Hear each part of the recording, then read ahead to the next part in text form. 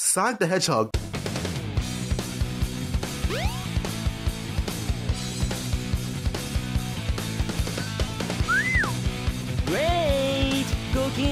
He's a very well known character in the Sega IP, known all across the world, mostly in America, for being a great mascot and a very cool character. He has been around for multiple years, over 32 to be exact when this is coming out. But Sonic has had a great line of stuff happening, but Sonic has also had a lot of bad stuff happen to him as well. He's had people complain about inconsistencies in story, inconsistencies in character, and inconsistencies in different dimensions with classic characters and multiple dimensions and different stuff like that. Some of that stuff is warranted, but some of that stuff just doesn't exist. And that's why I'm making this video today to talk about Japanese Sonic. Maybe like Japanese Sonic, isn't it just Sonic? No, there's a totally different interpretation of Sonic in a different area. Well, the original area was actually created, but you know, I'm just saying, in a totally different area where he has been consistently in character the stories are a little bit better and everything seems a little bit more together with Sonic. And you may be saying, what do I mean by this? Well, in Japan, Sonic is a consistent character. What do you mean by consistent character? Well, in Japanese, Sonic's characteristics and characterization overall has been the same for 31 years. Yes,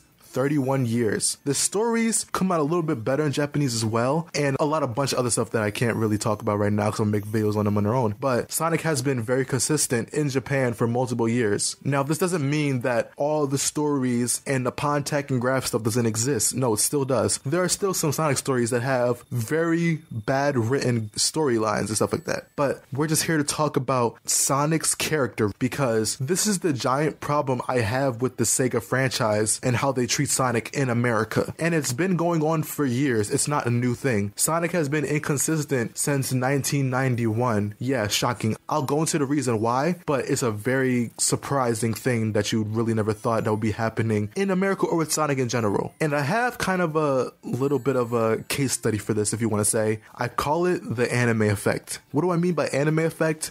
Well, in early eras of anime, mostly Dragon Ball Z, maybe some things back in the day. I don't know for sure if Hunter Hunter was out back then dub. Back in that day, they had very much super inconsistencies with their animes. Based on whatever kind of filtering and different stuff like that they had to do in America, they had to change the animes drastically. And I would call it the Dragon Ball effect because that's the biggest focus I'm having right now because I'm a Dragon Ball fan as well. I'm also a big weeb, so I watch other anime as well, but mostly Dragon Ball is my main focus sometimes. But when we're talking about Dragon Ball specifically, Dragon Ball has this as a big inconsistency that goes on with Sonic the Hedgehog. It basically connects. Sonic as a character, he's been consistent throughout all the years. But when we go to America, America thought, oh, people wouldn't know that this is Sonic and that this and that, that, that is Sonic, and people won't understand it here. Because at this time, I'll admit, back in that day, anime was not really a popular thing to be in the zeitgeist like it is today. Like, anime is in the giant zeitgeist today, known by people around the world, but it wasn't like that back in the day, which I think is sad because I technically grew up in the era where the zeitgeist was perfect, where there were anime fans and the dub was done correctly, and the subs and music and everything was done correctly in anime, and Sonic was done correctly. But going on with the whole Dragon Ball Z thing, back in the day, when Dragon Ball was being done very inconsistently and being uploaded very late compared to the Japanese, and the Japanese was a little bit further than them, they would go to the Kanzenshuu and different stuff like that to get their information on what they're doing in the Japanese, and they would even go there to find the original subtitles of the original context of Dragon Ball in Japanese because it was not available at that time. So they kind of had to bring it in overall over time. But now in today's era, all anime has correct subtitles and correct music and different stuff like that, like I said before. So going back to America, in 1991, he was inconsistent. Sonic as a character was inconsistent from the beginning. It's not Sega of Japan's fault, it's Sega of America's fault. With Sega of America, they decided to make their own changes, which literally messed up Sonic in a lot of ways. Sonic originally in Japan was a totally different character, and when it was brought to Sega of America, they said, oh, people don't know what hedgehogs are, people don't know this and that, or don't think this will work work, we're going to change it to make it work for American audiences. To be honest, this was nothing new in the whole Japanese game coming to America. Mario's had the same thing. Originally in Japan, when the original Donkey Kong arcade game was going on, they originally just called him Jumpman. Then America kind of gave him the name Mario, and a little bit over the years before the first Super Mario game, he got his name Mario. And so it kind of became an official thing. But that's not what happened in the American side of Sonic, and I don't think it should happen. But I'm continue what I was saying. With American Sonic, they basically changed his character. They literally took out Earth, they made it a totally different thing, made it very inconsistent with the Japanese, which is weird because over time they would literally change it back to the Japanese, which clearly showed that there was a problem with that. And even to say that maybe Sega Japan backed it up, no. You can look at Sega Japan's original copy of Sonic the Hedgehog. It clearly shows it has English text, clearly stating that it could come to America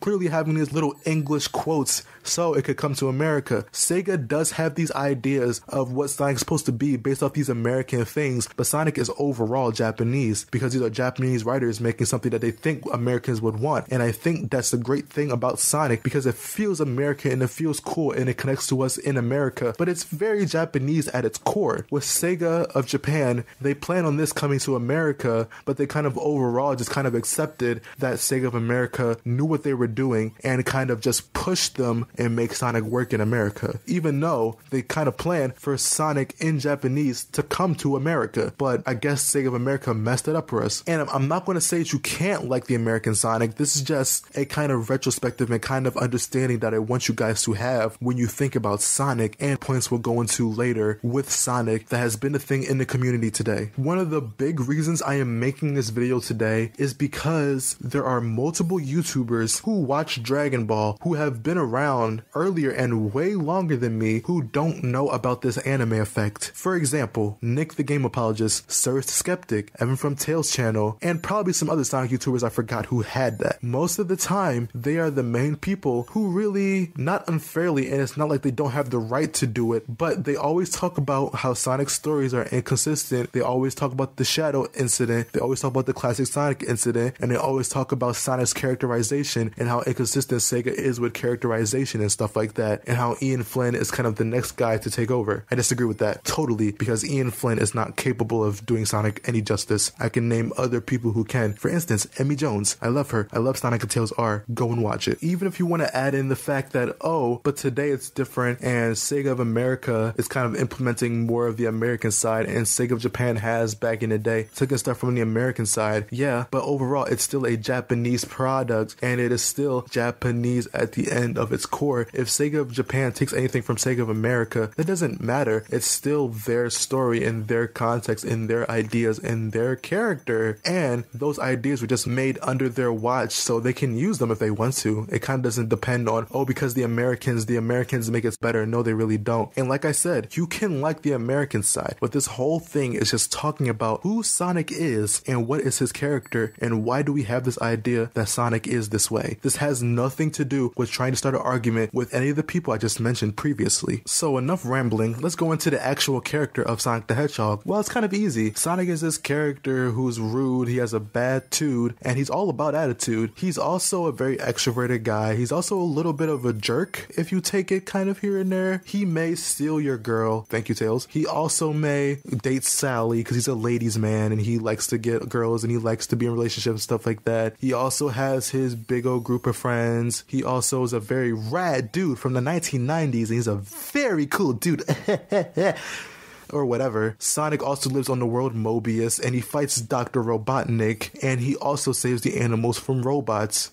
None of that is Sonic. Just want you to know that none of that is Sonic because that is the American side making Sonic different. If you like that, that's fine. I know Nick the Game Apologist likes it, and I respect him for liking it, but it's not Sonic. If we want to define who Sonic is, we have to know Sonic. And we're not going to be going off some random American translation which has no indication or no idea who Sonic is, what Sonic is about, or even who he is at his core. What was he made to be? So let's just start with this. Sonic is a blue hedgehog who was born on Earth with humans and animals living co-extinctually together with Dr. Eggman, who is his arch rival. In Sonic 1, this is not their first time fighting. They have fought multiple times in the past, even before the first game. So they are already arch rivals to this point. And that's all the backstory he has, and I think that's all he needs. Any more explanation would be cool. I would love to see if Sonic had parents, if he had anyone else in his life. I would really like that. I would like that a lot. I'm not gonna lie. But for right now, that's all we need for Sonic. Sonic is Sonic, and he doesn't really need a background because we care about the character, not the background, really. That's not the most important thing in Sonic's life. Even though you get like the whole Owl Lady or Archie parents, whatever they do, I generally forgot all about Archie. So now we're going to talk about characterization. And how I'm going to do this is going to be a little different and go to the points I made earlier. Sonic has two similar personalities. For my sake, we're going to call the one from 1991,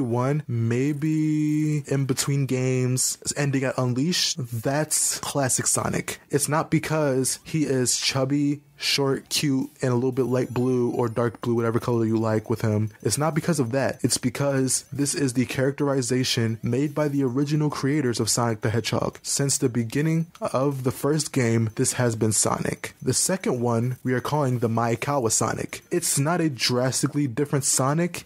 He just has small differences that makes him different. He's still the same Sonic, which is why I still go with the point that he is consistent all the way through. Because Sonic doesn't change dramatically, he just adds his own little flair to Sonic here and there, going off of that more cool factor of Sonic, not going full on 90s, but just being cooler. That's it. So let's go into the characterization of Japanese Sonic. Japanese Sonic is really defined as being a freedom fighter, not an actual freedom fighter with people. He just is a guy who strives for freedom. He isn't described as being a hero. He just does what feels right. And what feels right to him is having everyone be free, everyone living without sadness, everyone living their lives to the best ability. That is what Sonic is. Sonic wants to take everything in a positive light. He does not take things in a negative light ever. And even if he does personally, he doesn't say it out loud or tell people about it out loud for another reason, which I will explain later. Let's go on to Sonic's attitude. Sonic is described as having an attitude, but it is not as dramatic as the American side. It is not his whole character. It does not define his character in the 90s. That is what the American side has emphasized over here, which does not need to be emphasized because, sure, we can have an attitude and we can have this whole 90s too and stuff like that, but it's only really a thing that should not be for everyone. I know people like it because the whole American thing of just being cool and stuff like that, but it's not Sonic, and I don't find that interesting about Sonic to me personally. And even to go into little thing about Sonic, Sonic loves nature. Sonic loves the beauty of nature. He loves the green grass and the wind and the sun and everything that makes up the world. Sonic is best friends with the world for better terms. Technically with Chip, he is, but when we're talking about just like theoretically or metaphorically or rhetorically, he's best friends with the world.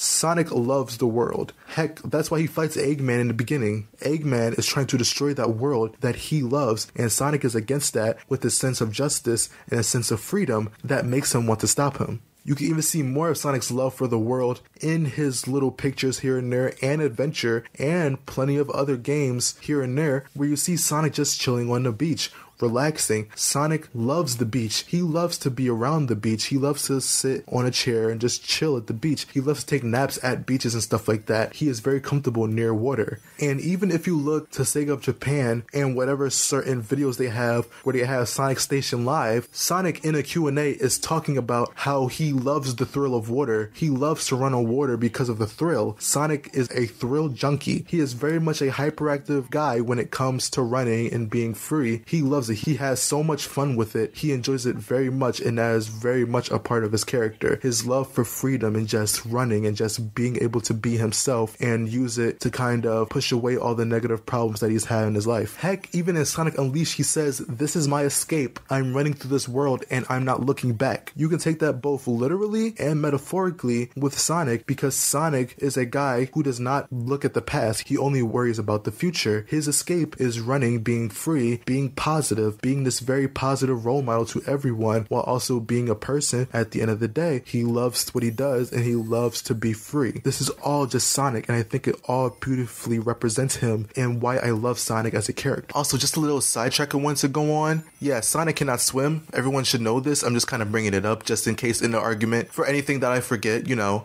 Sonic in his character is also, which I hate that the American does, make him very cocky. Sonic is self confident, he is very brave, and he's very playful, but he is never cocky. That's what the American side always emphasizes, and I hate that because Sonic is not cocky. If you look at any other video besides people who know Japanese Sonic or any other tweet or anything like that, they always say Sonic is cocky. Sonic has never been cocky in his life. trying to defend him, I may sound very deep about it, but I'm just saying he's not cocky. He's a very confident person. If you think Sonic is cocky, then go and relook at everything Sonic in the Japanese and tell me if he's actually cocky. Sonic is a very calm guy and a very confident guy, but he is not cocky. Sonic has never shown to be cocky unless you count adventure and certain things here and there where Sonic has been cocky and that has gotten him in trouble. And even then, if you look at Sonic's lines in the classic Sonic description, he is always serious in these situations with Eggman. He doesn't take them lightly like American Sonic, who takes these things as a breeze. Sonic is always serious. You can look at his original sprite. He is not smiling, he's not acting all cocky and all fun. You may see later that Sonic is smiling while having fun. He's having fun being more playful. This is the pinnacle of fun for him. It's not something that he's like, heh,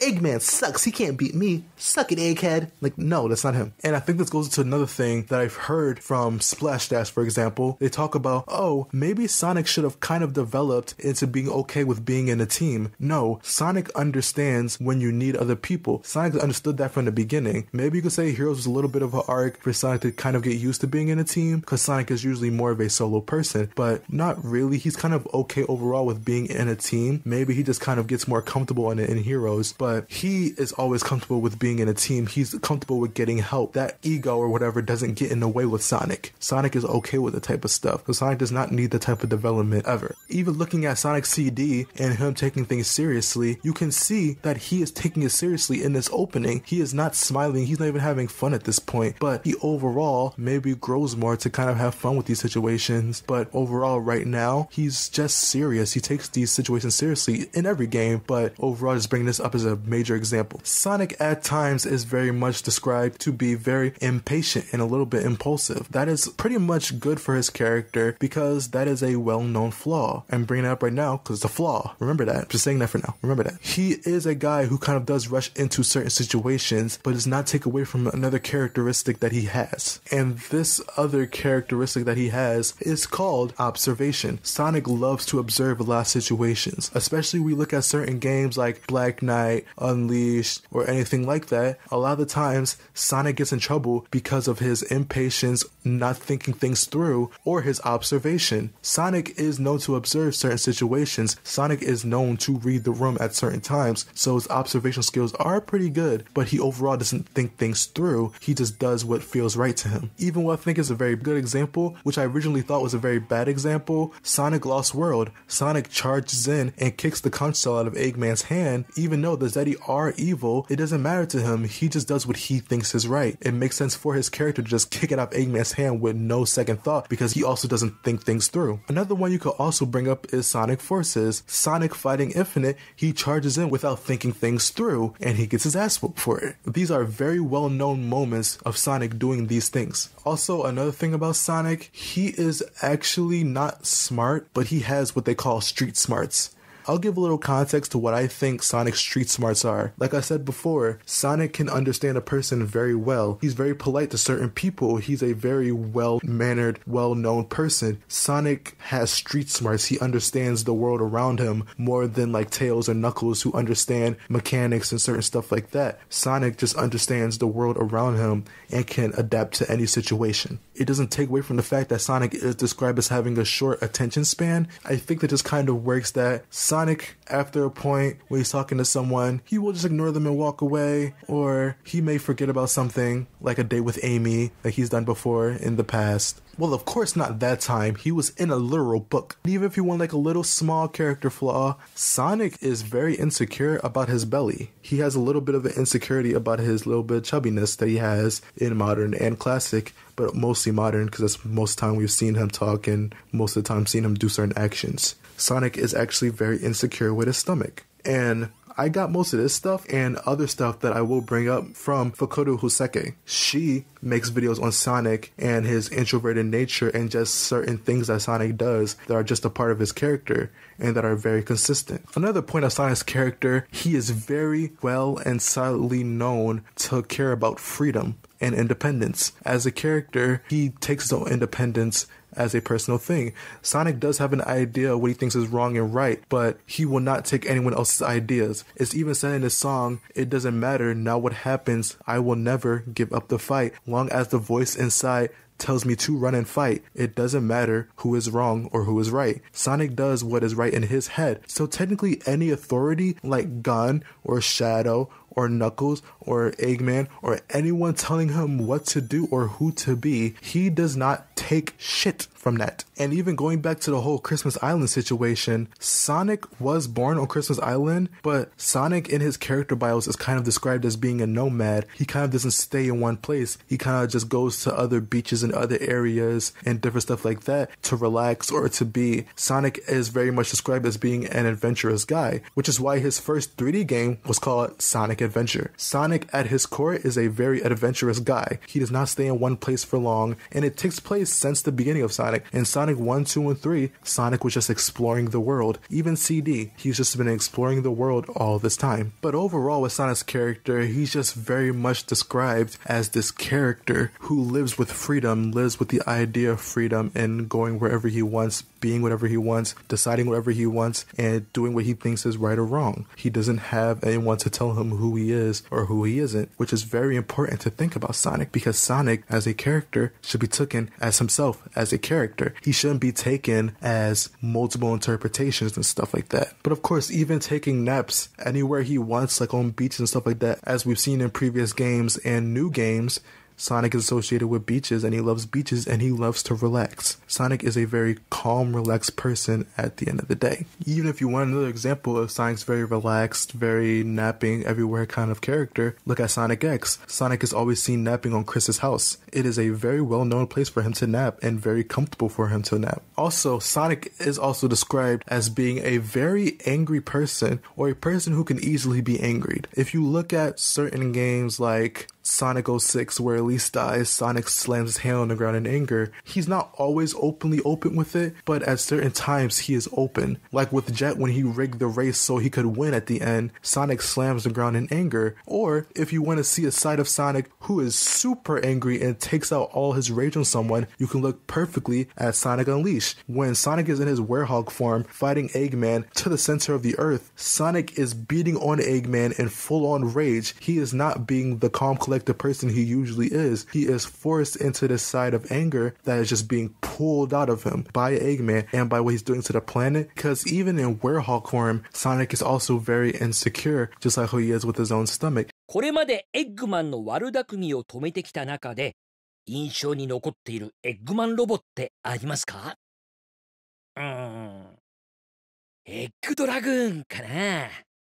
ドリルだの光の翼だの大砲だの欲張りすぎだろってのもあるけど俺はあの時ムキムキのウェアホッグに変身しててさロボットをボッコボッコにした後エッグマンをロボットからコックピットごと引っこ抜いた挙句空の彼方までぶん投げたんだよで後でちょっとやりすぎたかなってそれで印象に残ってるっていうか音速一問一答 Thank you! One of the things Sonic is very proud of and very confident in is his appearance. So whenever that's taken away from him, either if it's a werehog or a little bit of weight on him or anything about him being insecure, that's Sonic. Also, when Sonic isn't in his angry form, he actually does hold back against his enemies. It's shown in plenty of games like Sonic and the Black Knight, Sonic Battle, and Sonic Forces. And it makes sense towards another idea with Sonic that everyone has a problem with. The kind of idea that Sonic doesn't kill. I'll definitely go more into that when I go more into IDW and Flynn one day. God, I don't hope I get to that. But this idea that Sonic kills, he does. But at the same time, he doesn't kill. He wants to keep them around. Why? Because he likes to have fun. They're a sense of fun for him. They're a sense of challenge. Sonic is a very confident person, but he's not cocky. Sonic doesn't keep them around because he has a cocky attitude about it and he knows he can beat them all the time. He has a confident attitude and knows he can beat Eggman, but he also knows he can beat any enemy he puts effort into because Sonic is a character who really doesn't care if they're alive or dead. He just wants to live his life. So, of course, killing them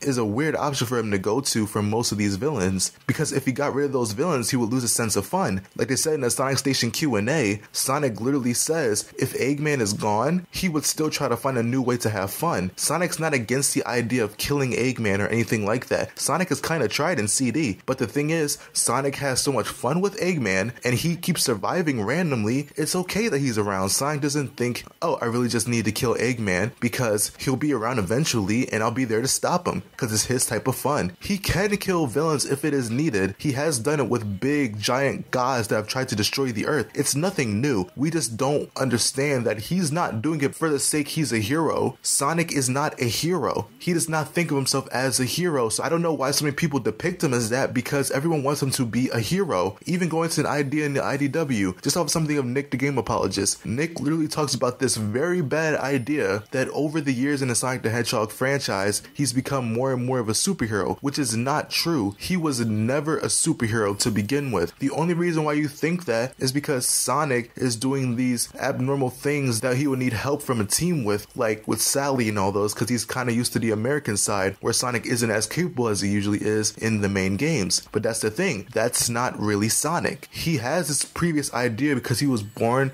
and raised on the American side of Sonic, which is why I can't really take that seriously the idea that Nick thinks that Sonic can grow into this IDW version, that's not true because it ignores everything that Japanese Sonic was trying to do. It doesn't make sense. Sonic would kill if it is needed. Sonic does not think on the idea of redeeming people. Sonic does not think that he's been through the show over and over again that he needs to redeem everyone. Technically, he has not redeemed many people. Let's be honest. The only reason why he did was because the show of his character. Sonic did not redeem them. Sonic did not talk it out with them. He only did that to certain villains villains because certain villains could be talked to. Like, for instance, Merlina. Merlina had a very clear view of how she saw things in the beginning. Sonic understood that at first and was kind of confused but didn't say anything. But later on, when he sees her become a villain, he's more sympathetic after he defeats her but then talks to them if he has a reason to be sympathetic towards them. Sonic's not going to be sympathetic towards every villain just because he's redeemed a couple. No, he's going to fight them as a villain. He's going to take them out. If he already had a reason beforehand, which is what Sonic has every time. For another example,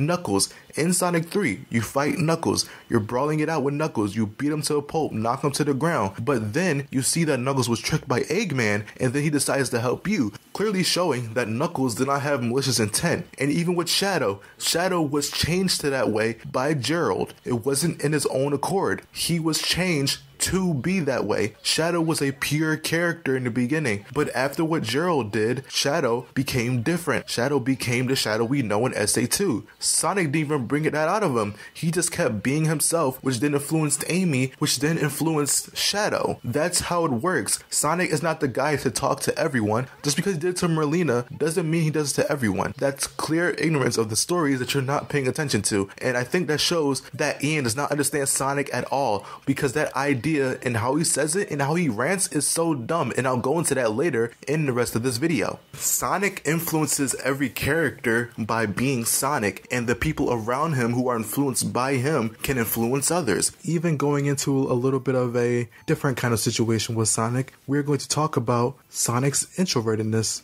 What is that? Sonic's not an introvert?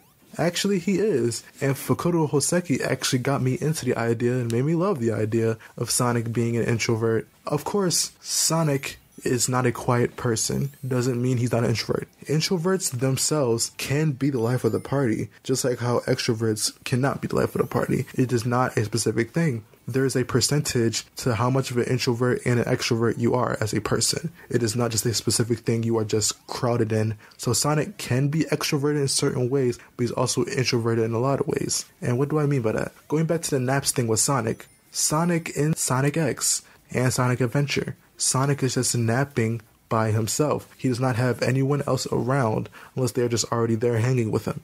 Even in large groups with Sonic, if Sonic does not have anything really important to say, Sonic will be very quiet. He's a very quiet person in most big crowded situations unless there's something really to say. If he's not doing that, otherwise he's observing the situation and letting them get their say out. 世紀の天才科学者と歌われたわしのじいさんじゃなんだやっぱりお前のせいか今すぐやめろさもないとそれができるくらいならとっくの昔にやっておるわ説明してくれ which is what Sonic does a lot, especially when Eggman monologues and stuff like that. Instead of attacking him, he observes the situation, like I've said before.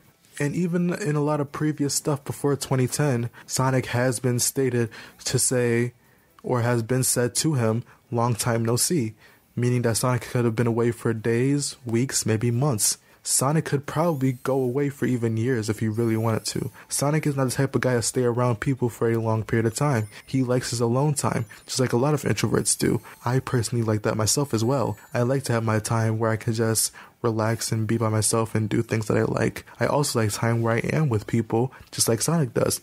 Sonic enjoys his time with people, but the majority of the time he would rather be on his own. Just like Sonic Adventure 1, he literally jumps and leaves everyone to clean up the city while Sonic wants to go do his thing. That is just Sonic in his introverted nature. Sonic, in his introvertness, is also a type of character who doesn't splurt out his emotions. Unless it's anger, like I've said before, Sonic will let it out during certain situations. But with any other emotion, he does not really go in depth on how he feels on certain situations, especially looking at Sonic and Secret Rings, which kind of explores that with Sonic. Him having to feel and kind of contain all these emotions and kind of just bringing them all out to fight Erazor Djinn, which I think also kind of goes into his anger, but I'll go more into that when I talk about Sonic and Secret Rings. Heck, he even has giant bursts of emotions coming out, like for instance when Elise was dead, and so was Shahra. Sonic is the type of guy to be very sympathetic towards people, especially during death. Even at times where Sonic gets complimented, he is even seen blushing, saying heh whenever something happens, because Sonic is also a guy who doesn't really take compliments well. He may be confident in his own speed and himself as a character, but overall, he's not the type of guy to take compliments himself. He'll either be very coy with it or be very shy around people. 政権様だってモテるじゃないか当然だお前のようなひよこと私を比べるなやれやれまだひよっこのままか いや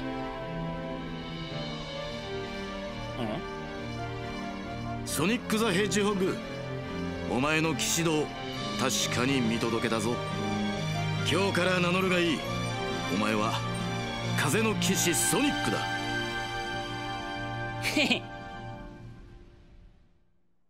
And even when he's in a big crowd being celebrated, he will run out of there. Or if he is, he'll be very subtle in how he feels about it. He'll be a little happy but cover his face or try to not let people see him be embarrassed. Because Sonic is very embarrassed when he is around certain people and they talk about how great he is. Which also ignores the dumb idea that Sonic has an ego, which is why I really think if you watch this video and you really connect with it, stop saying Sonic has an ego. It doesn't make sense. Even one thing I want to touch on is Sonic's feelings towards romance and how he feels about love. Let's go with Amy. We're not gonna go fully in depth with it because there's an Amy video coming out about that soon. Or whenever I release it, I'm oh god, I swear I've been working on this for months. Sonic is not in a hatred with Amy. I've saw people kind of interpret Sonic and Amy's relationship as, oh, Sonic kind of hates Amy. Sonic doesn't really like Amy. He thinks she's gross. That's not what it is. It's Sonic introverted nature and not showing his emotions that kind of cause him to push away Amy. And also his sense of freedom, which overall just makes him not want to be around Amy or be in a relationship because if he's in a relationship, he'll overall not be able to do what he thinks he wants to do. At least that's what he thinks. I think that over time, if they did it right, Sonic as a character could slowly want to be in a relationship. I've had that myself where I kind of slowly want to be more and more into a relationship growing up. Sonic can go through that too. Sonic can develop, but he does not need to be dramatically changed. Sonic overall would just kind of have to learn that Amy accepts him for his freedom. So if Sonic's not around as much, but comes back whenever he's relaxing and stuff like that, like what Fukurou Hoseki said in her What If of Sonic dating Amy, Sonic would be around, he would go away and come back to Amy's house to relax whenever. And even going into the whole idea of him being awkward around females, look at Sonic X, where Sonic is seeing these two girls complimenting Sonic. Sonic is over here blushing and runs out because Sonic is not used to this type of situation, especially being complimented by girls. あれソニックはん読まへんかテレビでご活躍見とりますわ本物に会えるなんて嬉しいですほんまやわいや照れますやん It is described in his early bios as being a ladies' man, but overall, that could be interpreted in so many ways. Even though the main way is like, oh, you're good with the ladies. He is good with the ladies. He had Elise, he had Amy, he had those two girls. People think Sonic is cute. Sonic is a little confident in it, but he's not going to mention it because of his whole shyness. And even going into lately in the Japanese, Sonic does kind of have feelings for Amy, kind of growing. It could be because of the cause and effect of Ian Flynn in Sonic Frontiers that Sonic is more open, so Sonic is kind of able to show more that he kind of has an interest for Amy. But overall in Frontiers, he does show a growth of liking Amy. He kind of wants to be with Amy, but overall, he can't fully go into it. And I feel it's a little bit rushed because it's kind of contradicting itself to kind of work with the English side in IDW. 質問をまとめると、これだな。実際のところ、エミーのことどう思ってる実際も何も、エミーは頼れる仲間で大事な友達さ。 ちょっと時々パワフルすぎるけど。いつもいろいろ、まあ、感謝してるさ。オッケー回答終わり音速一問一答 !Thank you! But the main reason is his emotions why he doesn't hang around Amy like that and doesn't like her all up on him. But Sonic is also a very kind of personal, non touchy kind of guy. He doesn't really get touchy with his friends. Most of the times you'll maybe see a fist bump or like something not like a hug. Sonic doesn't really like hugs. Even in Sonic Forces, you can see Tails trying to give Sonic a hug, and Sonic kind of keeps his distance because Sonic is not really used to hugs. Sonic's not really used to being kind of crowded. His freedom kind of stops him from being crowded in by a hug. But Sonic is in Frontiers actually more comfortable with being around Amy and kind of having his arms around her. But it doesn't feel gradually grown. It just feels like it's forced because of IDW and Ian Flynn. That's why I keep bringing this up. But you also could kind of say you kind of see a comfortability with hugging or touching like that because Sonic does actually carry all the females he saves. So that could be a thing he does. Sonic does have a kind of okayness when it comes to saving them where he has to hold on to them. Even you can see in CD, he kind of just tiptoes away and runs away from Amy after that fact. But even going back into like the happy attitude and the positive attitude, Sonic does that a lot, even when it comes to like certain situations that are very bad. And if certain situations are bad and he doesn't know how to handle them, because he can't handle every situation, that's another flaw. He really isn't good at handling every situation. Even for example with Sonic X, when Cosmo dies and Sonic brings Cosmo's last piece to Tails, Tails is crying and banging on him while Sonic is sitting there quietly and seriously comforting Tails, not really touching him, but overall just being there as a shoulder to cry on.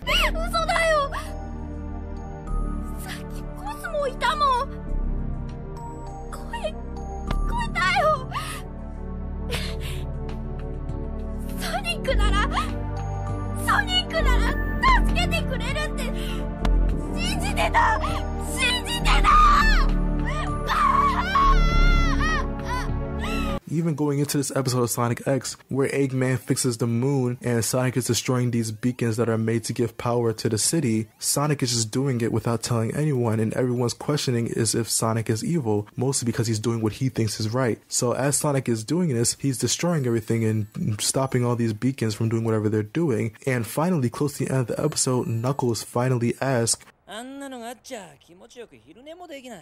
そんなくだらない理由で だから熱くなるなって。でもしょうがねえだろ故障であれが動かせないんだからその間は動かさないって？動いてるじゃないか。何？だいたい地球は回ってるんだぜ。それに合わせて月も動かなくちゃ、ああいう風になるはずないじゃん。というわけだ。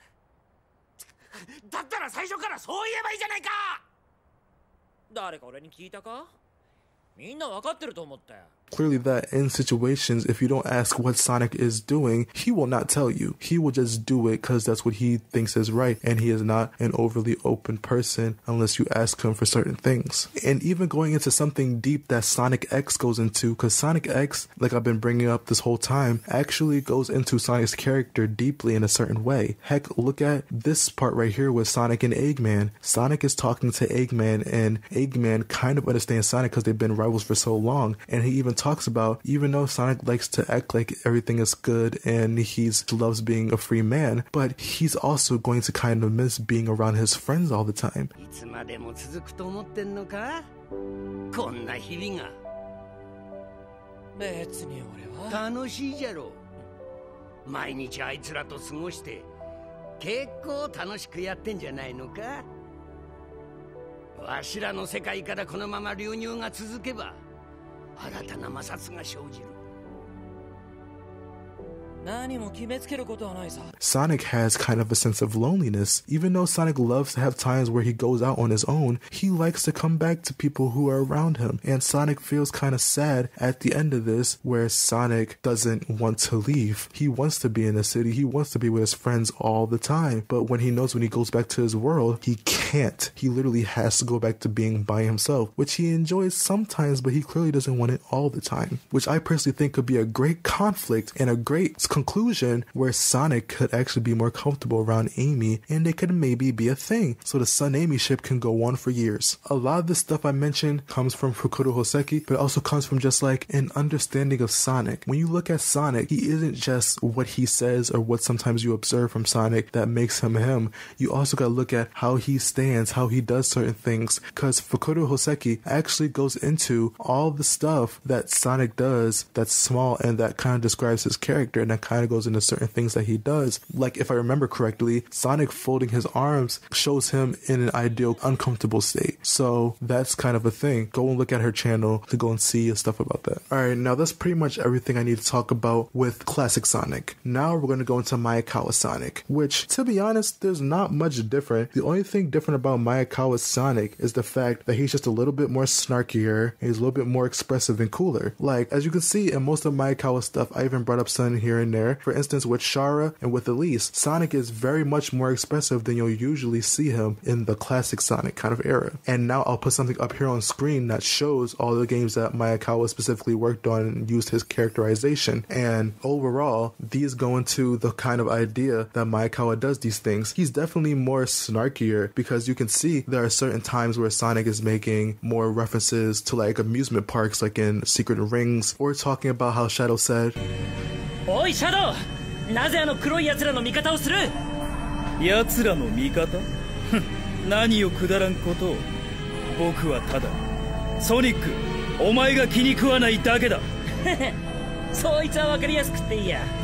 じゃあやるか and Sonic kind of being more jokey. He's kind of more jokey. He's kind of trying to be more cool. He also gives off more of a cool attitude with Maekawa as well. It's very interesting. I think there's no real difference between these two Sonics, and that's fine because they are basically the same. I don't really separate them because they are too close to be different Sonics. Maekawa just adds a little bit of his flair to it, and that's pretty much it. Unlike every other Sonic, where they are totally wrong and totally don't get Sonic, but sometimes they have good ideas with him and different things like that, but they're not Sonic. Now, that's not to say that they can't be Sonic, because a lot of the American ideas can come to the Japanese. The Japanese Sonic team has used a lot of American stuff for their Sonic stuff. It's not out of the question for them to use it themselves, but it has to be put in the context of the Japanese. That's why Maekawa kind of works so well, because he adds own little American ideas in there, but doesn't fully make him the American Sonic. That's what they did with Unleash. They added chili dogs. It had a great reason to Unleash to have chili dogs and to have Sonic have a favorite food, but these had to be implemented in the game naturally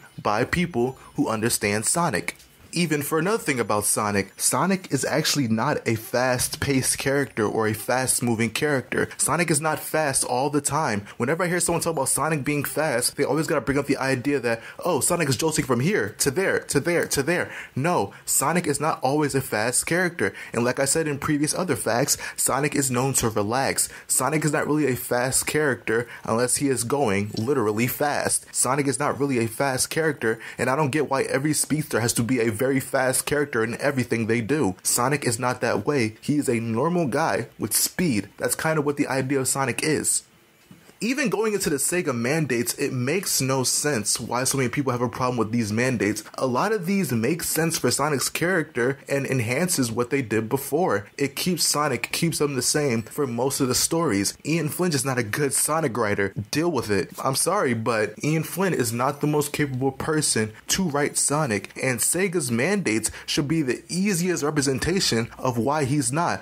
Like, for instance, Sonic can't cry. It makes sense. Sonic's introverted character character is not usually allowed to cry. When you're an introvert, sometimes you don't show your emotions like that. So Sonic to cry is a rare occasion. Like with Chris, it's very rare. Sonic is not a crying type of character. And also, this thing that I really don't like the idea that Sonic can be in a relationship. I think that's fine if you want to think of Sonic in his ideal way he's supposed to be represented, but as a character, I feel that that's a little weird. And overall, it kind of contradicts itself because isn't Sonic kind of crushing on Amy and Frontier? So I don't know about that mandate as much because Ian does say some stuff that doesn't make sense. But to be honest, the whole um characters that are male can only turn super kind of makes no sense, and I think Sega got rid of that for a reason. But even going into the idea of Sonic being off model and stuff like that, it kind of makes sense because Sonic is supposed to be a kind of solidified character, but I think a lot of his magic does come from the idea that he is kind of different in each iteration of every game, but he still feels Sonic. And I think that still makes sense for them to want Sonic to be on model, and Sonic's models lately have been pretty shitty, but Sonic should have a clear model because they want a clear silhouette and a clear character model that can work for Sonic. I wish they did something better or maybe change it up every once in a while because they want to have new different things. But the one we have now is alright, but it's not the greatest thing for Sonic. Also with quills, I'm a long quills guy. Modern Sonic's not these short quills. What's the point of that? I don't know. He's supposed to be looking lengthier, taller, so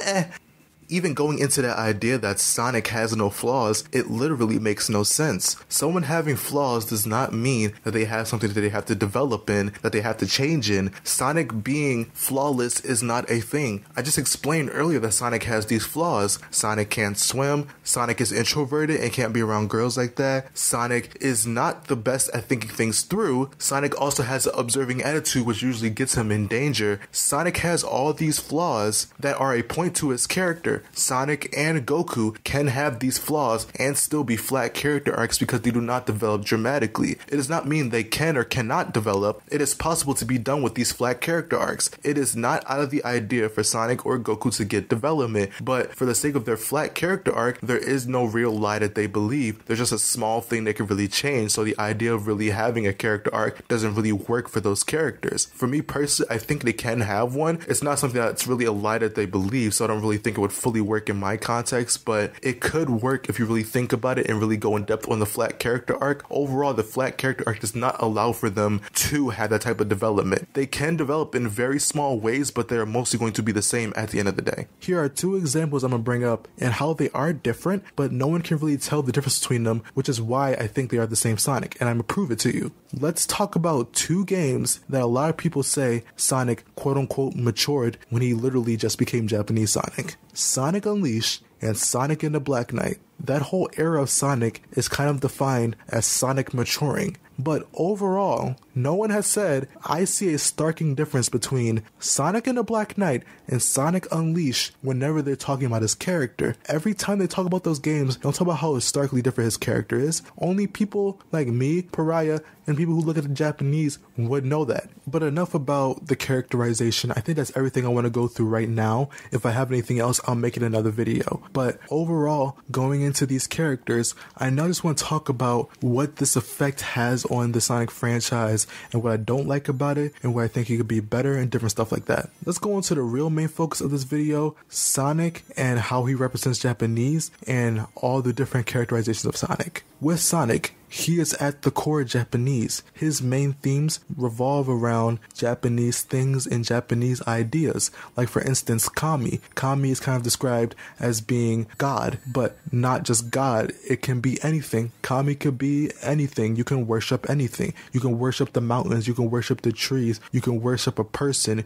You can worship anyone. Anyone can be a Kami. Sonic kind of goes through that idea, especially with Naoto Oshima kind of saying that, oh, Sonic is kind of like a fairy. Even in Sonic's original creation, he was kind of described as being this kind of omnipotent thing that just kind of does what he wants and kind of just kind of represents this idea of freedom. Sonic overall is kind of a guy who represents the idea of freedom and the good in people. Sonic kind of revolves around the idea of environmentalism. These things make up Sonic. Sonic is kind of the embodiment of good because Sonic is good. Sonic is his own definition and the human definition of good. We look at Sonic and we want Sonic to be this imperfect mess, want him to not be this flat character arc which goes to push the themes of the story. We instead want Sonic to just be some other generic character like a Vegeta or whatever, or any other character that develops. Sonic does not need to develop because he is the embodiment of good. He is a flat character arc. He does not change dramatically.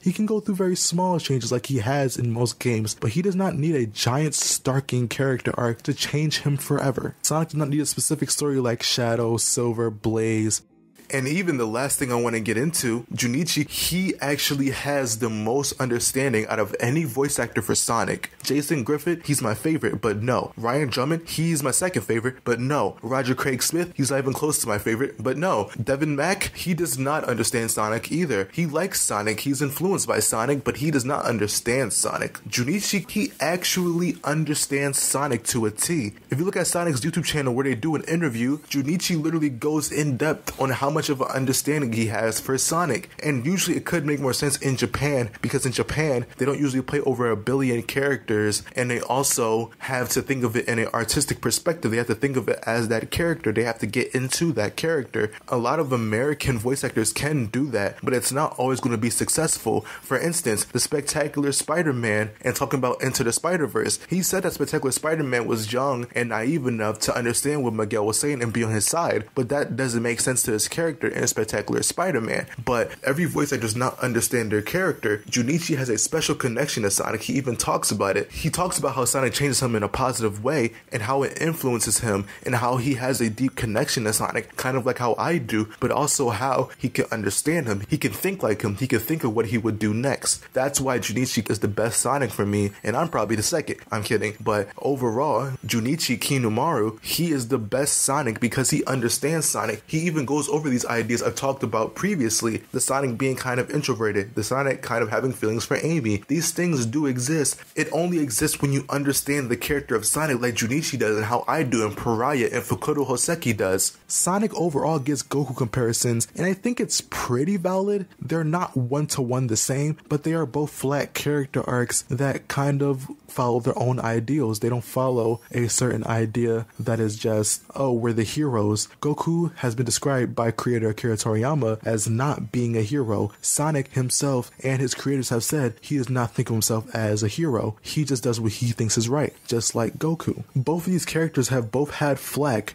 for being very boring, very not interesting, not relatable enough, but that's what makes them unique. They're very different, kind of instills this idea of Buddhism and fighting for the betterment of oneself mentally and physically, just like Sonic kind of goes for the ideas of the good in people, the good that we all have inside each of us, and that how we can perceive that and can kind of take that in different ways. Sonic also represents freedom, the freedom of people, and how people should be able to live any way they want. People should be able to push themselves to their next level, to be able to go wherever they want, push themselves to be whatever they want to be. Even with Goku's theme kind of being about, oh, you should always want to embetter yourself, make yourself better, make yourself stronger, make yourself do whatever you want to do. You have no limits. These characters, these flat characters, are made to push people. They are made to push everyone, including the people in their own world. They hold these themes, they hold these less imperfections because they are overall supposed to push the narrative forward. That is what a flat character arc is made to do push the narrative forward. Sonic and Goku are both made to develop Vegeta and Shadow. Sonic and Goku are both made to develop Silver and Trunks. They are made to do the same thing. They are flat characters. They influence people around them. They do not get influenced. That is the other characters in the Sonic and Dragon Ball world. They hold this because it is a long lasting series with Dragon Ball and with Sonic the Hedgehog, and they can live on forever. This is why Sonic is described as a fairy because Sonic is made to live on forever. This character, this guy that they made, this hedgehog that they made, is made to live on forever. They are meant to stay in our minds to help us be better, to help us live better, to help us and help with these general themes, make us feel like a better person, make us feel more inclined to help with the environment, make us feel more inclined to better ourselves, make us feel inclined to add more freedom. I personally take those ideas into my own life because that's what they were made to do. We don't just add themes for the sake of adding themes. We add themes because these can help people. These can make people better. These can also improve their lives. A lot of Eastern culture and a lot of Eastern stories are made for the embetterment of people, the embetterment of you, the embetterment of me, the embetterment of the entire world. These stories are made to connect, but also change and maybe even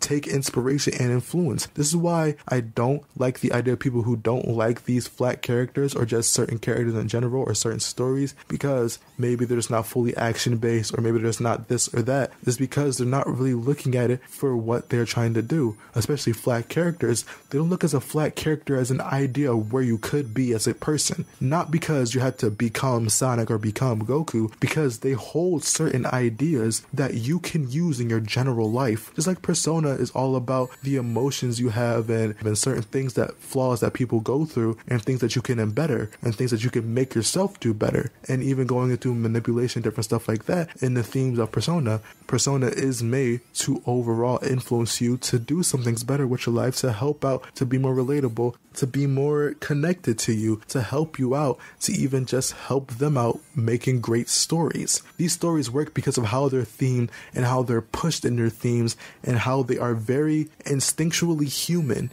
and how human connections work the most with story. I don't care about anime fights. I don't care about power scaling. I don't care about how this character is supposed to be different, how we should accept every character because what we got is what we got and it is made to help us it is made to push the themes that they are trying to go for in their company, in their stories, in their character. I'd rather go through that. I'd rather accept the story as a story because I'd rather see what narratively they're going to do to push this theme, push this character, push anything they're trying to do with the story in general because that's what you're there for. You're not there to just get action. If you want to go see action, go and watch 50 fights on YouTube. You can have action. Sure, I love action. I love all that. But you come there also for the story and for what these characters do for you. Heck, even Emmy Jones, who made Sonic and Tails R, which is great. It is the best Sonic story ever. That story is story first and foremost. It takes development of Tails, who needed more development. It takes point of Sonic's flat character arc, where it enhances what he does to help Tails to embetter himself and his influence against everything around him.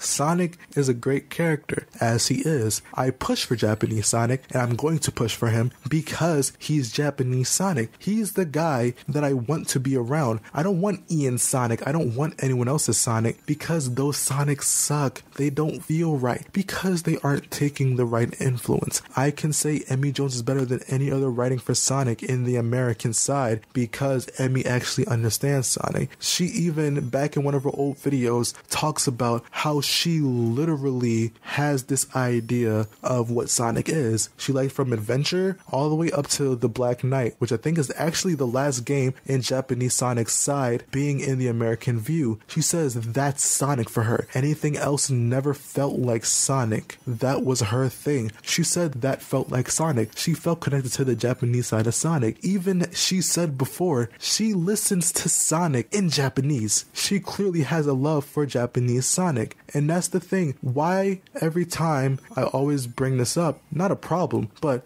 Wendy. Wendy is a person who has been translating all this Sonic stuff. She translates all the stories and stuff like that, and that's how Pariah gets her stuff. That's how Fukurou Hoseki gets her stuff. But every other YouTuber just ignores her, even though she's the one translating most of the stuff you use. Nick, I'm just telling them it's not a diss or anything like that. Wendy writes most of the Japanese Sonic manuals. If you look there, it says Wendy wrote them. I was baffled when I saw that because Wendy has been around for a while and no one has talked about her in the main zeitgeist of the American side. Wendy has been around for years helping out translate Japanese stuff. She still does. She literally just translated Frontiers in Japanese, which is starkingly way better than the American side. The story is still pretty eh, but overall the characters feel more in character. Wendy has translated every game. Her account is gone now on YouTube. Sadly, she made a new one for Frontiers, so go subscribe to that. I'll leave it in the link in the description. But overall, she has been keeping the influence of Japanese Sonic alive because there are fans. There are at least 11,000 people, maybe even more Japanese Sonic fans. I actually talked to a couple in my Twitter, my Discord, and different stuff like that because Japanese Sonic holds more ground than anything in the American side. Pontac and Graff, Ian, whoever worked on Sega in America back in 1991, they do not understand Sonic. They didn't even understand the Japanese market. And to people who think, oh, it was back in the day, it's, it's a totally different era, we totally have more understanding, we should kind of just still be okay with it. No, it's not okay either way. I'm still mad they kept it inconsistent from back in the day. It shouldn't have been inconsistent. Dragon Ball works because it's still doing things by the original Japanese. Most of the dubs and stuff now are done to compare to the original Japanese. Sonic did that for a short amount of time in 2003 to 2009, before 2010. Of course, because that's when Pontac and Graff took over and messed up the franchise. Because people had this corrupted idea of Sonic from the beginning. Sonic from the beginning was supposed to be this way, but because of Sega of America, they changed it. And that makes me very pissed because this character could be so much more. And like I've said before, Ian Flynn is not the right person to be taking over Sonic. Ian Flynn is the worst person. He literally writes like Pontac and Graff, which he does in IDW. No offense, it's a totally different character, but it feels like Pontac and Graff with just his Archie comics writing. I don't like Ian Flynn, not even in Frontiers, because in Frontiers he's still doing things Sonic is not supposed to do. The first words that come up in Sonic's theme in Sonic Adventure is I don't show off nor criticize. Sonic does both of those things in Frontiers and in IDW. IDW is admittedly, by Nick the Game Apologist, already known to not be Sonic. It is a totally different interpretation of Sonic by Ian Flynn, and that's what they are doing in the games now. Ian Flynn took over, and I hate that he took over because he's not good. Even the stories don't feel good. Like, they don't hold any real themes to them, they don't hold anything. I even thought about multiple ideas in my head on how the Zombot arc could have kind of been implemented into this whole theme of environmentalism and a corruption of people and different stuff like that. But overall, Ian Flynn never thought of that. He just kind of went with like a general idea of what the story is about and kind of just pushes that. And I think he said that on a BumbleKast one time, which is why I really don't take what he says to T. Even people who take him as the guy who gives the canon, it's kind of weird, but you do you, I guess. I don't really judge you for that. I don't really feel like you're a problem for that, even though don't come to me with it. Not gonna lie. Because I will tell you, no, the Japanese says this, bye. But overall, I think that Ian Flynn is not the best take for Sonic going forward. I don't know how Emmy feels about Sonic and Frontiers, but Emmy would be a way better choice to take over for Sonic. Heck, Pariah would be a way better choice, and I haven't even seen his Tails comic coming out yet. He just sounds way better understanding Sonic than anyone at Sonic right now does. A lot of the characters aren't character there. I'm sorry that you have to hear that. It's still a very fun game, a very cutesy game, but it's not Sonic overall. Even I'm going to go into kind of a lately thing with Twitter. I saw a certain post on Twitter where they were talking about how any Sonic is Sonic any Sonic can be Sonic, which I think is totally wrong. There is no any Goku is Goku because Goku is solidified as Goku. The only problem Sonic has compared to Goku is that he's been inconsistent from the beginning. Sonic has had multiple interpretations for years and it makes no sense. Just Sega of America changing things or them changing things because people in America don't understand the context of everything. Sonic as a character should be Sonic, which is why I go with Japanese Sonic more than anything. That is the true Sonic. Japanese Sonic has been consistent in every medium before the American could even get one right. He's been the same in the Japanese for the longest time. Sega of America has this problem of changing up his character here, there, there, there, and there, and there. Like, there's no need. Heck, I even saw, there's no diss to Evan Tails channel. I love talking to him when I was first getting into this, but he talked about how, well, we shouldn't limit everyone to one Sonic because that overall goes against Sonic as a character. Sonic is meant to be interpreted in multiple ways. He was not. If we want to go with that, we're going to go with the same idea as with Batman. Batman is a character that he doesn't kill, that he doesn't shoot people, that he doesn't murder if Batman comes out murdering someone, no one's going to have discourse? Actually, he has in Batman v Superman and any other time Batman has killed. The general zeitgeist knows that Batman should not kill. That is a core of his character. Of course, there are different versions of Batman here and there, but overall, that's kind of a core idea that has stuck with Batman for years. And just like Sonic, there should be a core idea of Sonic that has been there for years, because it has been there for 31, say 32 years. Sonic in Japan has been consistent, and he is the original Sonic because Sonic was made in Japan. He was made with Japanese ideals in mind. He is a Japanese franchise franchise. Sonic is Japanese first and foremost, and I don't like the idea that we should disregard that because of inconsistencies over the years. Sonic is Sonic. Keep it that way. There should be no changing. You can like any other version, but we should also strive to have the correct Sonic in the forefront. There are plenty of Sonic fans who talk about it on Twitter and on Instagram and on YouTube. Well, only like a couple, but overall, Sonic is Sonic. I don't think we should be pushing for any other Sonic. We can have our movie Sonics, we can have these other Sonics, but they aren't Sonic. They're they're just another character with the name Sonic, and we can accept that and we can have their stories. Movie Sonic isn't the same, none of the Sonics are the same. They don't take off the central idea of this Sonic. The Mario movie works well because Mario is Mario. Be like some, oh, what doesn't make any sense? Mario doesn't have a real character. He does. You just have to look at other context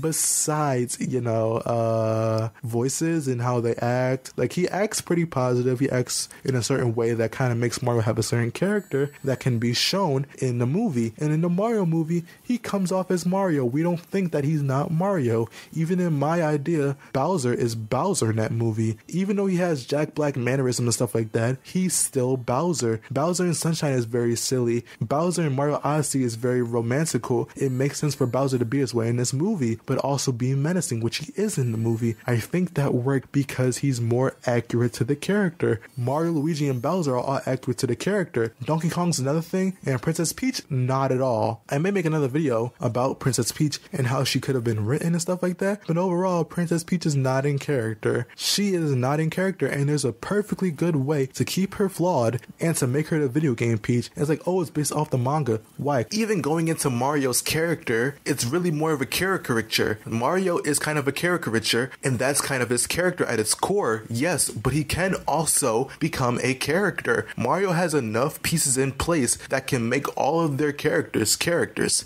Like they are characters in a physical way, but they aren't characters in a mental and action kind of way. They kind of do things for the sake of it being a video game, but the Mario movie brings out that idea that they can be those characters. They can be actual characters. This is why I feel so mad when Peach is being known because Peach isn't actually that way. Even if you may say, oh, the Mario characters are caricatures, that is true, but overall, they have certain personality things that they add to that character to make them kind of a character. Pariah is literally making a story about Japanese Sonic in Sonic 2 and interpreting it in his own way. I'm making personal stories about Sonic, some I may actually put on this channel, and some that is going to stay secret, but overall, Emmy has made stories about the true Sonic. People can make multiple creative stories about Sonic, they don't need need a different interpretation to do that. That's just literally accepting defeat instead of actually pushing for something more. Evan specifically talks about how we can always push for Sonic to have momentum, we can push for Sonic to have this type of gameplay, but he doesn't really push for Sonic to have this type of character, oh, because it limits the character. But no, it ignores who Sonic is at the beginning. Sonic as a character is the embodiment of freedom, the good in all people, and just being Japanese Sonic. If you take that away, he's not Sonic. But overall, overall, Sonic is supposed to be this character. We can't take away from it just for the sake of, oh, interpretation of character. If someone writes a story about OKKO or Steven Universe, I expect them to be in character. Maybe if you take a darker take, I still expect them to be in character. Just like how we expect Goku to be in character in the Japanese, just like how we expect the translations and the subtitles and everything to be right in anime. Maybe it's because I'm a weeb and maybe I'm just thinking of it the wrong way. You can like your interpretation, but you have to also accept the fact that that is not the correct interpretation. You can like someone's interpretation of Goku from their little fan project, but overall, if Goku's not in character, then what do you like him for? You just like him because he can be anything? No, Sonic is not something you could just mold into anything. Sonic stories can be molded into anything because they overall have not kept up with that environmental theme and has just kind of went on into an adventure kind of theme. But overall, you can't take out the core of Sonic because it's not Sonic anymore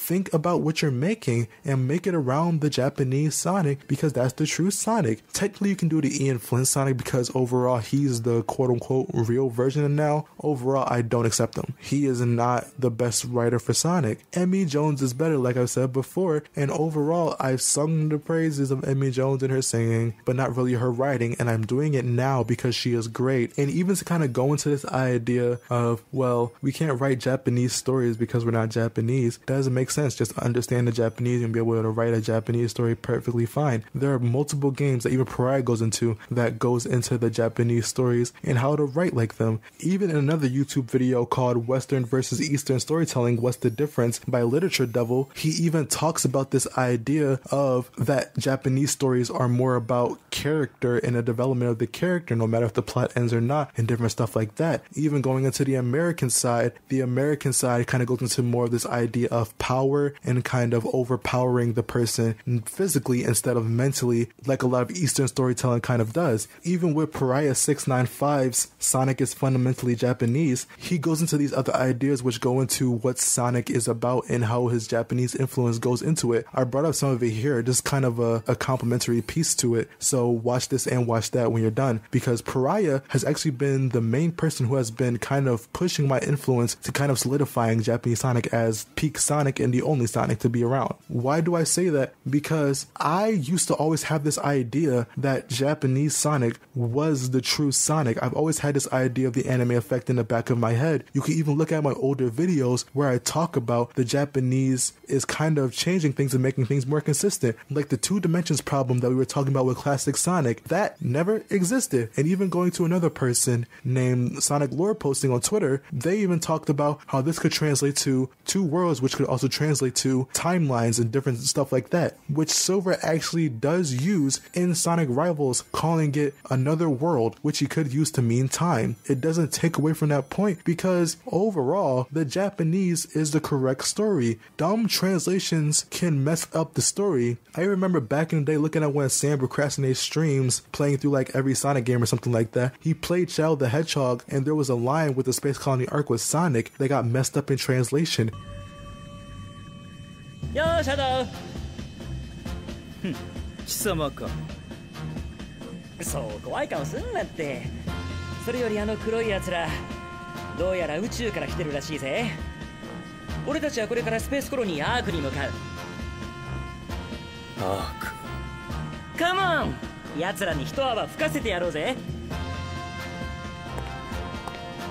and Radical Soda pointed this out. And overall, it didn't scratch anyone's mind or pop in anyone's mind to think, hey, maybe the Japanese is more consistent than the English and maybe has something that actually makes the story better or actually kind of has misinterpretations with it. No one thinks about these ideas but me, Pariah, Fukurou Hoseki, and people who like the Japanese Sonic more. And this doesn't go to every Sonic fan who only cares about gameplay. This goes to the ones who care about characterization, story, like Nick the Game Apologist, Cyrus the Skeptic, Channel Pup, Wayne is Boss, different people like that. I just brought up Sunset City Cast because I watched them a lot, and also Evan from Tails Channel, and even people who just don't even know that Wendy exists. Like, I'm not gonna lie, I was so mad at my original recording because Evan from Tails channel, Splash Dash slash LS Mark, they both follow Wendy which is weird to me because Wendy literally translates most of the games and Splash doesn't take that into account whenever he's making any of his videos or even studying the Japanese. Even Evan doesn't study it, and it's very weird to me. But overall, Snapcube knows about it even though she doesn't really make Sonic videos except for the fan dubs. She uses those videos to dub over. But Emmy Jones follows Wendy and she uses Sonic the right way, and she has been stated to like Japanese Sonic more. So it makes sense that she is doing this right, that she actually understands Sonic. She even complains about certain things they do in IDW, which all pushes the fact that IDW sucks. I don't want to diss anyone who likes IDW, it's just, it's not Sonic, and we can praise it. Sure, it's a good comic that goes with the Sonic name, but overall, it doesn't work for me because it just doesn't feel like Sonic. It feels like Ian Flynn writing Archie again, and I don't really care for Archie anymore. Even though I used to love it as a kid, I used to adore it or used to love looking at it before I knew anything about Japanese Sonic or even the idea that it could have been two different versions of Sonic. And thing is, this doesn't just go for Sonic, it can go for Mario, it can go for Final Fantasy, it can go for Persona, it can go for anything. If overall the stories were made by Japanese people taken into account by Japanese standards, taken into account by Japanese storytelling, characterization, theming, different stuff like that. Take in those ideologies as well. Those will help you understand the stories more. I especially learned that a lot being a Dragon Ball fan because being a Dragon Ball fan, you actually think about this stuff and you kind of learn about Buddhism. You start learning about certain meanings behind certain things in Dragon Ball. There are those types of certain things in Sonic the Hedgehog itself, and I think people should take this into account when looking at these stories, which could probably make them more beautiful, better narratively written, and just overall make more sense and just feel Japanese. Sonic overall is made for America.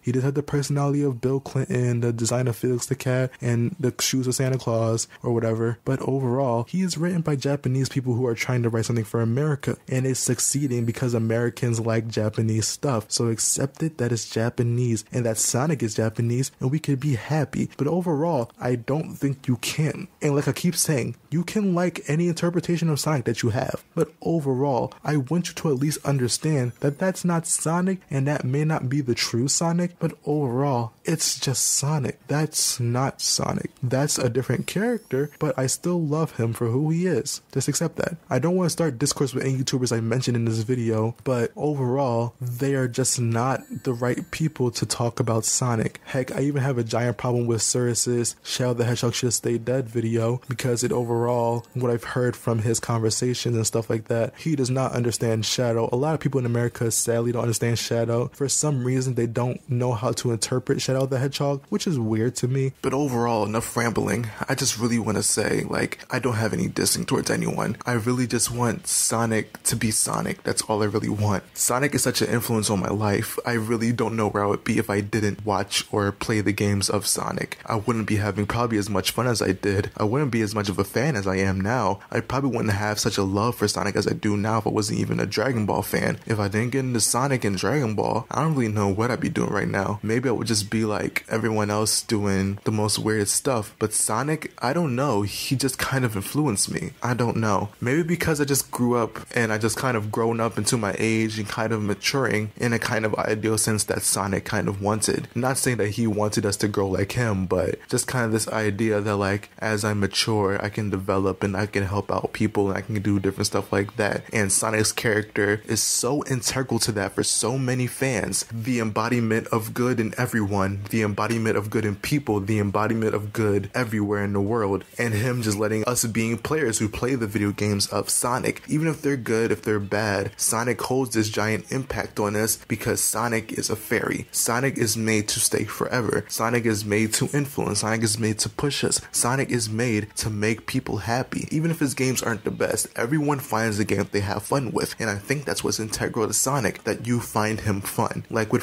Frontiers, I may not like the story all that much, and I may not like the character that much, but I can say I have fun with the game. I go back for every DLC because I have fun with the game. Sonic is such a great idea and such a great concept that no one really understands, and if you don't understand it, that's fine. I still feel weird when you like this character, but you like a different interpretation of him, even though that's not fully him. And it kind of just confuses your brain on certain things, like Sonic having an ego. I feel so dedicated and so mad about these things because these things really matter to Sonic's character. If we didn't have these, it wouldn't be Sonic. He wouldn't be this embodiment of good. He wouldn't be the influence we have now. Sonic does what he does for us because he's just being him. He's just being Sonic. He's just being cool. He's just being introverted. He's just being all those things that we can relate to and we can also use for the betterment of ourselves. I wish more people would get that idea and stop worrying about Sonic being a hero because he's never a hero. None of us have to be a hero to do good in our lives, and that's what Sonic represents. Just like with Amy,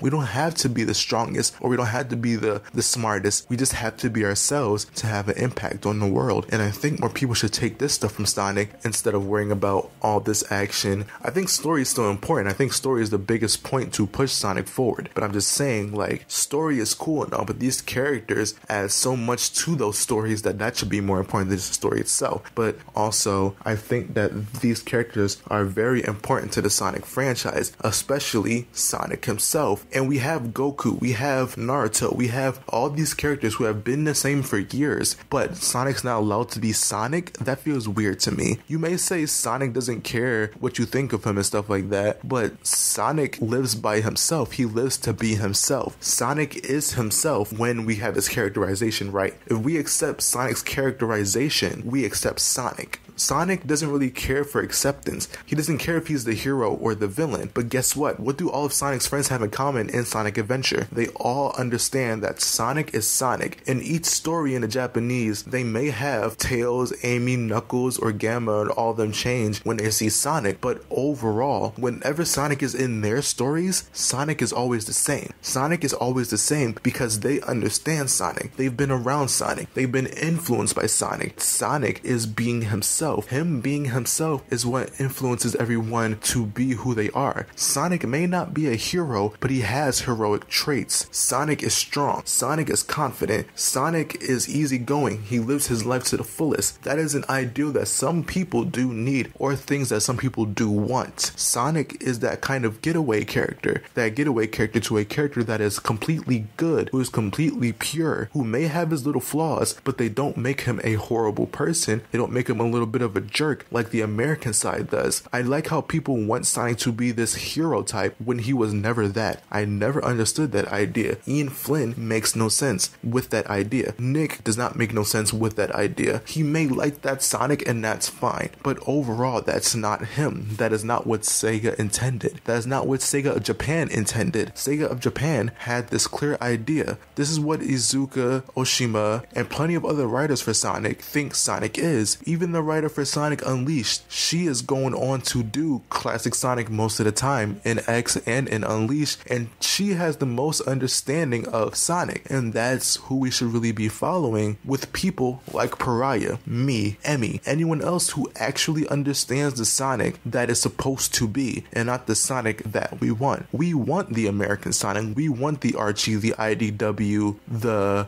Adventure Sonic, the Hedgehog, the SatAM. We want all these Sonics, but they aren't Sonic. Just accept that fact, and you can like whatever you want. Everyone has their own opinion and their own headcanon on what Sonic would do. Everyone may not be able to get Sonic 100% correctly unless they put in the research, but Sonic is so beautiful, so intense, so magical, so mystical, so great because of what he is. He's Sonic, he's influenced by Japanese influences, he even has his own American influences, and he's made for Americans and Japanese people, but is written in Japanese. We love anime. Most of us, I can tell you, probably love anime. I've been influenced by anime for the rest of my life, but Sonic was the one to connect to me on a deep level. Sonic was the anime that I fell in love with the most. Sonic is an anime like in Sonic X, even though it's not the best series, but it's pretty great. And Sonic is Sonic. Sonic changes the characters. If Sonic didn't exist, there would be no Sonic the Hedgehog. There would be no Sonic 1, Sonic 2, Sonic 3. There would be no rival to Mario. There would be none of that stuff because all we would have is someone who doesn't understand this idea and this ideals of freedom, these overall kind of ideals that Sonic has. Sonic has these ideals that we should aspire to have sometimes.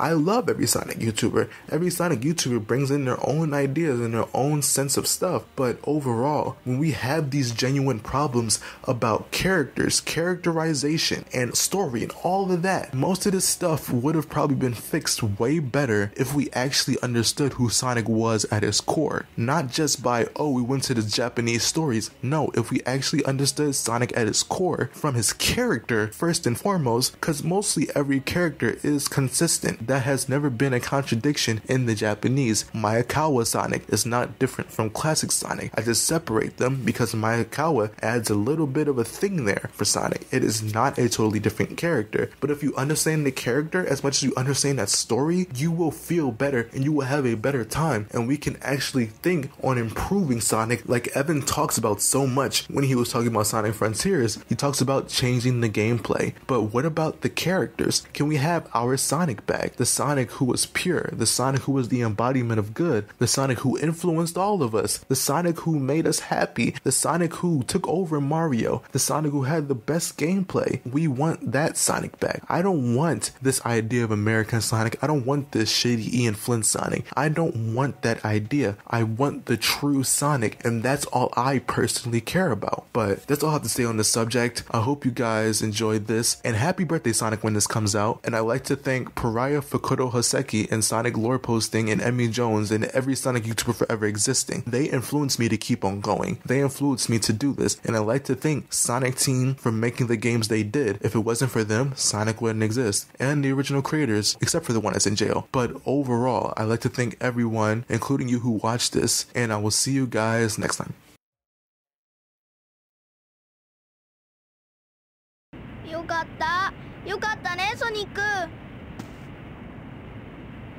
ソニック？